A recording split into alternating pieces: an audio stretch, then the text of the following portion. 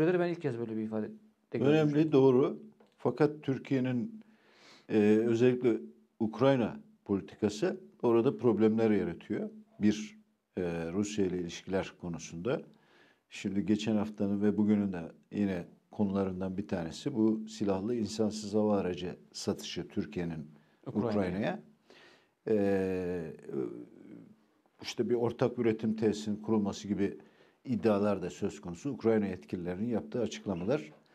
Ee, ama daha önemlisi Ukrayna'nın NATO'ya katılımı ve bir Amerikan projesi olan Kırım'ın Rusya'dan koparılması.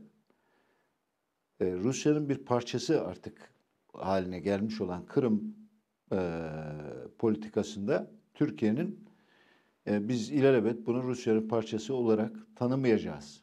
Bunu Mevlüt Çavuşoğlu Dışişleri Bakanı yaptı bu açıklamayı demesi gibi politikalar e, SİHA'lardan daha önemli sorunlar. Yani SİHA onun bir alt başlığı olarak değerlendirilebilecek bir başlık.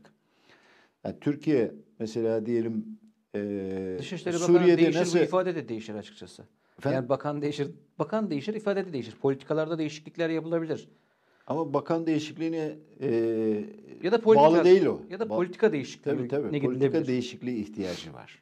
Hani oralarda e, şimdi Türkiye başından beri söylüyoruz. Karşısındaki tehdidin ağırlığına göre bir politika benimsemek zorunda.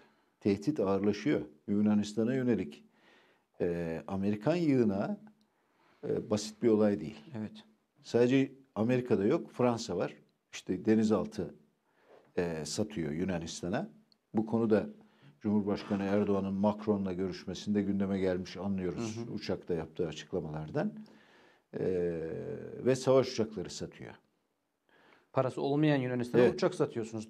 Demeye demiş, getiriyor. demiş e, Cumhurbaşkanı Erdoğan Macron'a öyle demiş.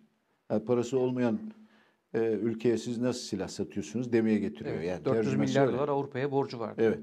Hakikaten öyle. Niye yapıyor? Onun tamamen Türkiye yönelik olduğunu e, herkes biliyor. Zaten gizli değil.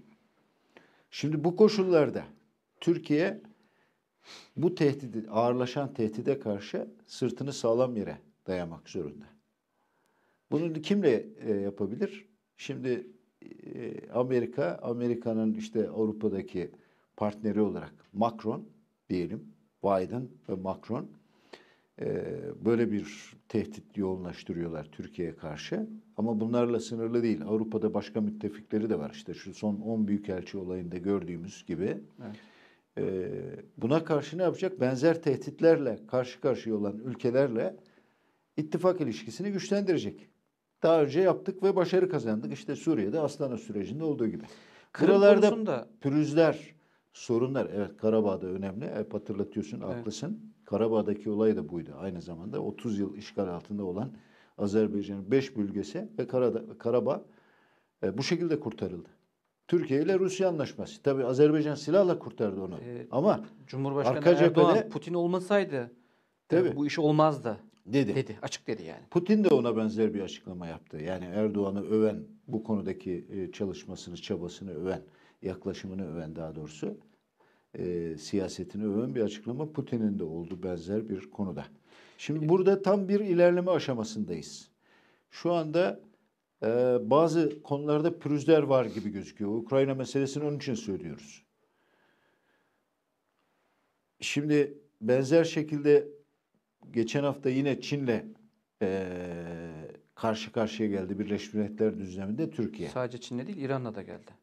İran'da nasıl geldi? İran da e, Suriye'de Türkiye'yi işgalci e, konumunda gösteren bir Or- açıklama orada yaptı. benim kast tamam yani Çin o Birleşmiş Milletler yaptı. toplantısında e, evet İran'da yaptı ama orada benim kastettiğim şu. Uygur bölgesindeki insan hakları ihlalleri gerekçesiyle imzalanan bildiriye daha önce imza atmamıştı. Türkiye imza attı. 2-3 yıldır imza atmıyordu. Evet atmamıştı. E, şimdi imza attı. Ondan sonra o toplantı geldi. Bunlar ama per arkasında yani şimdi devlet neticede işliyor. Bir çark var orada. Evet. Yani farklı şeylerin de olabileceğini e, ne ilişkin haberler geliyor. Yani Türkiye ile Çin arasında ki bu e, bir olumlu bir atmosfer yok şu an. Olumlu bir atmosfer yok. Arka planda farklı şeyler işliyor. kara kediler var. Belki de e, Cumhurbaşkanı'nın o ifadesi e, Yani bunlar meşhur. şu anlama gelmez. Ben şuraya bağlamaya çalışıyorum. Ee, aslında Çin de hazır, Rusya da hazır, Türkiye de hazır. Ee, Türkiye'nin atacağı adıma bağlı bu işler. Türkiye bu konuda ve biraz da Türkiye'nin ihtiyacı var. Onu da görmemiz lazım. Yani namlunun ucundaki ülke Türkiye. Ve Türkiye o nedenle atacağı adımları buna göre dikkatli atmak zorunda. Evet, Çin'e yönelik de Amerikan tehdidi var. Rusya'ya yönelik de Amerikan tehdidi var. Nereden var? İşte Rusya'ya yönelik Ukrayna'dan Doğu Avrupa Baltık planından vesaire filan bir sürü e, şey var.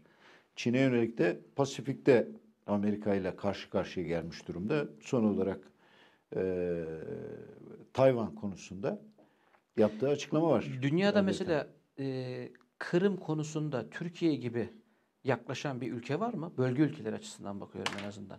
Yani biz ilelebet tanımayacağız diyoruz mesela. Orası Rus toprağı. Tabii. Yani şimdi bir, mesela bir Karabağ değil. Ya da kendi yurdumuzun bir, bir Kıbrıs değil mesela. Evet, Kuzey Sayın Kıbrıs Türk Perinçek Cumhuriyeti burada değil. e, Vatan Partisi Genel Başkanı Sayın Doğu Perinçek şey demişti. Yani siz Kars'ı veya Ardahan'ı filan veriyor değilsiniz. Yani zaten Kırım'ın parça e, Rusya'nın parçası olmuş bir bölgenin e, hakkını teslim etmiş oluyorsunuz gibi bir açıklama. Biz bu açıklamayı yapınca da mesela Lavrov hemen e, Kuzey Kıbrıs Türk Cumhuriyeti'ne e, ilişkin iki devletli çözüme ilişkin e, biz iki devletli çözümden yana değiliz. Federasyondan federasyon. tarafız ve Kuzey Kıbrıs Türk Cumhuriyeti'ni tanımayacağına Tabii, ilişkin tabii. de mesajlar veriyor Rus Dışişleri Bakanlığı. Sadece Lavrov değil tabii. Tabii. E, şimdi buradan siz pazar günü bir haber ya e, haber diyorum köşe yazısında Aydınlık'taki köşe yazınızda Ankara'daki Atlantik yanlısı küçük bir gruptan bahsediyorsunuz. Bunu da e, işte Amerika'nın çeşitli düşünce kuruluşlarında e, yazı yazan, siyaset üreten, fikir üreten, politik Evet. üreten e, kişilere dayandırmışsınız. E, orada şöyle diyorsunuz ki işin esası aslında e, bu bütün bu yaşadığımız son dönemde yaşadığımız siyasal gelişmeleri ve Biden Erdoğan görüşmesinden önce yazdınız tabii bu yazıyı. Bir gün önce. Türkiye Yani bir gün önce yazdım ama aynı gün yayınlandı. Aynı gün yani. yayınlandı, Olduğu gün evet. yayınlandı. Evet. E, Türkiye artık Atlantik İttifakı'ndan çıkacak ama e, çıkıyor ama çıpasını e, buraya daha fazla bağlı bir şekilde Amerika'ya daha fazla e, bağlı bir şekilde götürerek Türkiye'nin Asya ile buluşmasını önlemek esas stratejik hedeftir diye özetliyorsunuz. Evet. Bu dar grup dediğiniz, Amerikancı dar grup dediğiniz bunlar kim? Kim? Ben o yazıyı okuyunca en fazla bunu merak ettim. Evet. Kim bu? Atlantik yanlısı küçük bir grup. Bu ifade o Washington Yakın Doğu Enstitüsü yazarları birisi Türk asıllı Soner Çağaptay eee, ve diğer eee, ortak imzalı eee, şimdi adını hatırlayamadım eee, iki imzalı bir makalede geçiyor ve orada da F-16 eee, konusuyla ilgili eee, bir tartışma yapılıyor. Ve orada deniyor ki eee, bu F-16 talebi konusunda hani Amerika red yanıtı verecek ama bu red yanıtının biçimi önemli.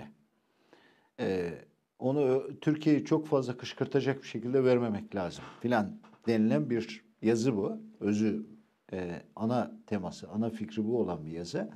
Fakat orada diyor ki eee, bu 10 büyükelçi olayıyla birlikte eee, Türkiye'nin Amerika ile çıkarlarını eee, devam ettirmesi konusunda kararlı bir grup var. Oradaki ifade Ankara'da Atlantik yanlısı küçük grup geçiyor. Şimdi bunlar kim? Evet. Bu anlıyoruz ki e, bu böyle hükümetin dışında bir veya AK Parti'nin dışında bir kuvvet değil. Onların içinde hükümet Evet. hükümet içerisinde bir Tamam. gruptan bahsediyoruz yani. Evet. Yani burada Amerika'nın stratejisini şöyle özetlemek mümkün. E, bu Biden görüşmesini de o bağlamda değerlendirmek, Biden-Erdoğan görüşmesini de o bağlamda değerlendirmek mümkün. Amerika ile Türkiye arasında karşı karşıya geliş e, konusunda bir değişiklik yok.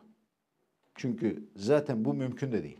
Türkiye'nin ulusal güvenlik çıkarlarıyla e, Amerika Birleşik Devletleri'nin çıkarları arasında taban tabana zıtlık var. Uzlaşmaz çelişki var. Bunları herhangi bir noktada uzlaş